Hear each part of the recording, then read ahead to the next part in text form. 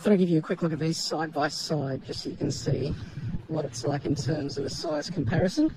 So obviously the new one on the right and then the current gen on the left. So you can see the current gen is kind of narrower at the top and then the new gen is kind of wider at the top so it sits out a little little meatier. So yeah. There's old Raptor and new Raptor.